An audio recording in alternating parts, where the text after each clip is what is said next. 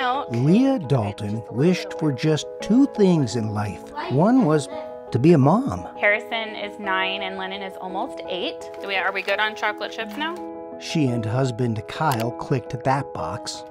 Oh, and Leah had another passion. I love everything about working with computers. Leah went to school so she could click that box. So I always knew at some point after getting my degree that I wanted to have a full career working with something like that. But in 2019, just when Leah's kids were at an age when she could launch her career, Leah's plans crashed. She suffered the first of four strokes. What did you lose? Everything. Everything. I couldn't write my name.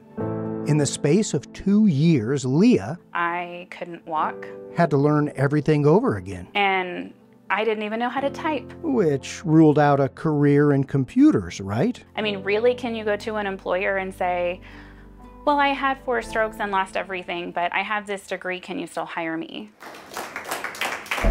Well, why not? said Hewlett Packard Enterprise.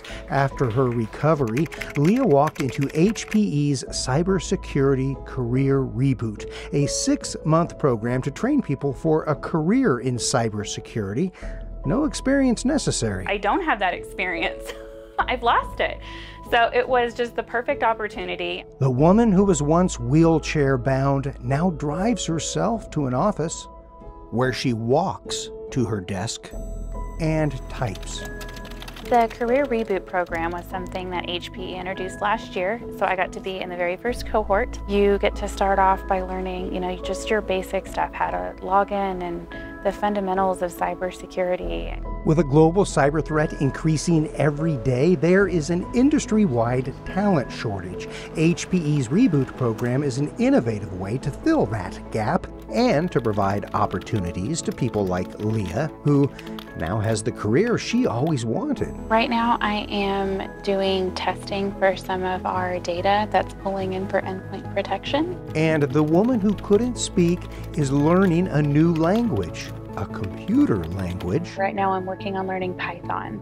This didn't just give me a career, it changed my whole life. And Leah deserved more than a career. She wanted her life back. I think the hardest part was not being able to pick up my kids. HPE, accelerating the way we work Aww. so we can live. Say, great job, mommy. That's what we do.